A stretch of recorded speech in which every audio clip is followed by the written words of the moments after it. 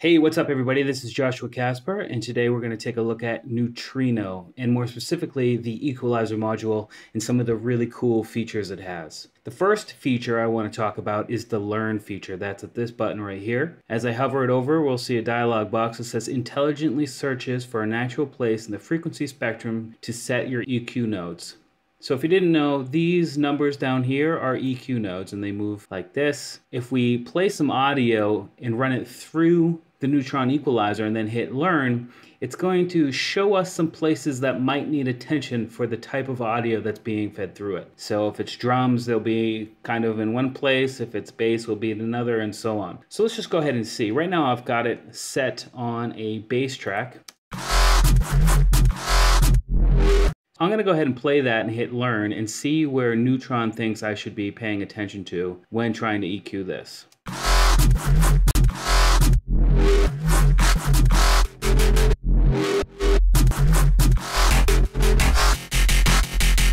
Now that it's set those places, uh, it's best to go in and kind of give it a gain boost and reduce to see what's changing inside of the sound itself and decide whether or not you should give it any more or any less.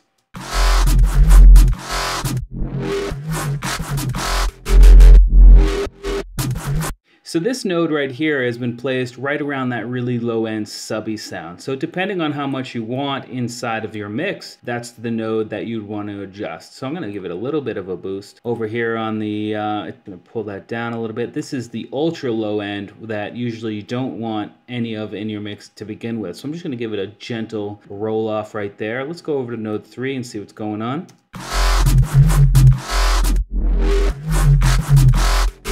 So that's got some like really harsh, muddy tendencies right there, those frequencies. So I'm gonna go ahead and give it a, a gentle cut. And I believe five is gonna do about the same thing. Those frequency ranges are really kind of better to get rid of. Let's go ahead and listen though.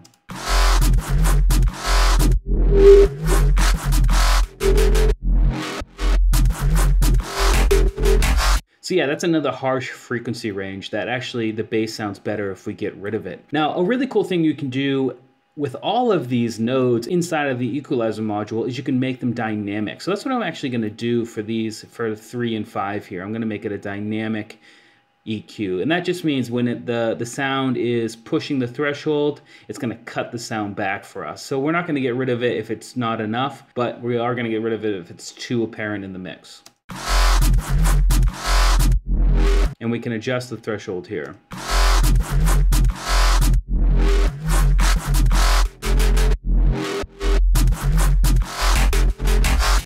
I'm going to do the same thing for node 3.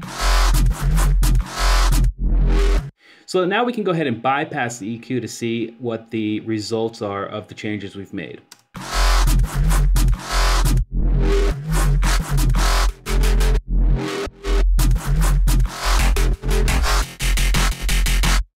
So as you can hear, we've made a little bit of a gentle boost there on the subby end while rolling off. Well, you can't really hear that, but the speakers will thank us in the future for rolling off that ultra low end. And we've cleaned it up a little bit in terms of the mid range, the low to mid range. I'm not going to mess with any with either of these right now because I want to go into my next thing, which is masking. Before we get into masking, I'm going to go ahead and rename this EQ to bass because it's on the bass channel. And the reason why I want to do that is going to become apparent in a minute. So for masking to work, we need to have the EQ on different tracks, at least two, but you can have on as many as you want. So I'm to go ahead and drop the EQ on the drum track. And I'm to go ahead and rename this drums now so I can keep track of everything that's going on and close out of there and I'm gonna hop back into the bass and open it up and now turn on masking. And when I turn on masking nothing's gonna happen until I select something from the drop down menu that appears and I'm gonna choose drums. However if you have multiple equalizers they'll all be listed here and you can choose from any of them. So now when I click drums I have two EQs on the same module here and this is the EQ for the drums. And if I make a change here it's going to be updated in the EQ on the drum channel itself. So that's something to keep in mind. Now I'm going to go ahead and play both of the tracks together. And as they're playing together, Neutron's equalizer is going to show me pink lines where there might be frequency masking going on. And what frequency masking is, is when there's like an overload of frequencies in a certain range that are going to not play nice with each other. Uh, the kick drum and the bass line are probably going to have some overlapping frequencies, and we need to decide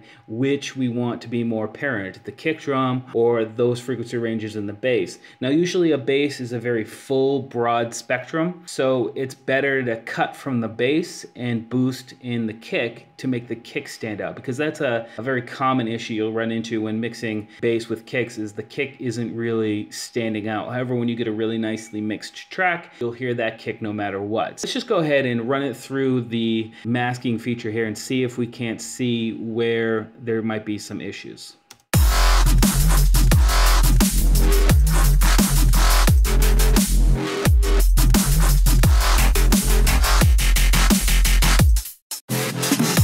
So I've got some issues around 40 hertz, and then I've got a bunch of issues over here in the in the higher range. So now we can make some decisions. Right now I boosted the bass down here, and that actually might be causing the issue. So if I roll back on that, you might expect the masking indicator to be a, little bit rolled back. Now there was also some masking issues going on up here in the higher end, and that's actually okay because I'm gonna go ahead and boost my drums because I want those hi-hats to be more present than the higher end of that bass. And the way to do that is the next thing I wanna talk about inside of the, the equalizer here, which is totally awesome, which is relative EQing, but they call it inverse linking. So if I turn on the inverse link here, whenever I make a change to boost a node node in one of these, the same node will be applied to the same frequency and will be will be moved in the opposite direction. So here if I move up, you'll see that the node this node jumped right over, so the eighth node, well actually the ninth node, jumped right over to the same frequency,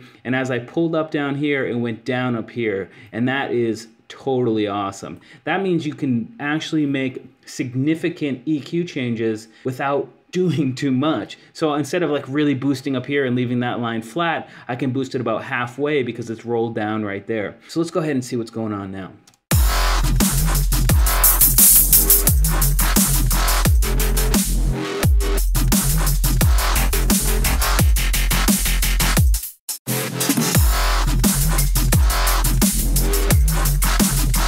And now let's go focus on that subby end and see what we can do to uh, really make that kick drum stand out. So to handle this, what I've done is gone ahead and jumped into the drum EQ and now I have the drums as the main function here with the bass as a secondary function. It's the same thing, but I just figured we'd check it out over here you know, in the same fashion. So what I'm gonna do is play with this EQ until I can get the kick drum to really stand out against the bass line.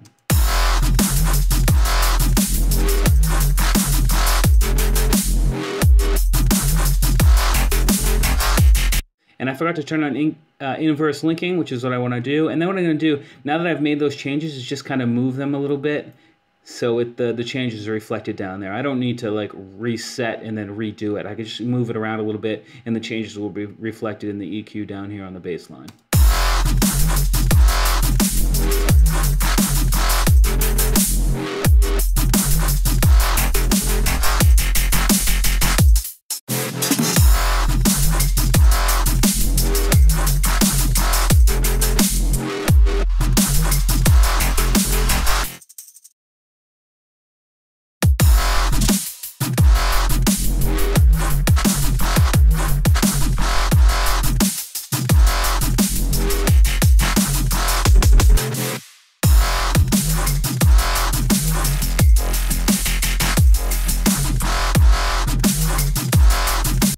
So that's sounding a lot better. Now what we can do is run the, this bypass EQs button, which will bypass both EQs while I hold the button down. And then when I let it go, we'll hear the changes. So let's go ahead and see if we can hear what's happened and if it's improved the sound at all.